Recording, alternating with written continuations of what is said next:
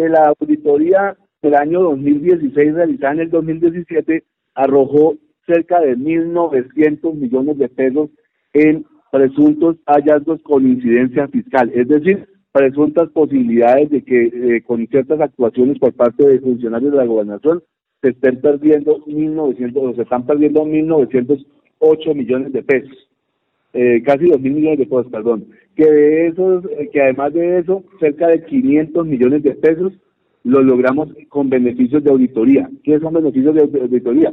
Son logros de recuperación de recursos que por pronto iban en vía de embolatarse, de perderse, de ocasionar un detrimento patrimonial y gracias a la actuación decidida de la Contraloría logramos recuperar esos 500 millones de pesos. ¿En dónde? En, en dos contratos básicamente, uno en la edad y otro tema en Indeportes y, otro tema en infraestructura. ¿Cuáles fueron las principales conductas que encontramos?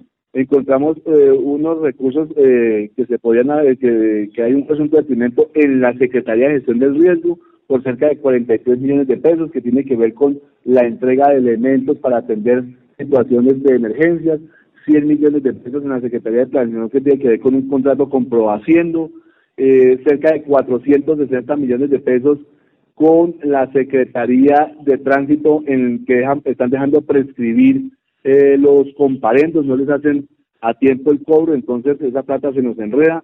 Eh, básicamente e, esa situación.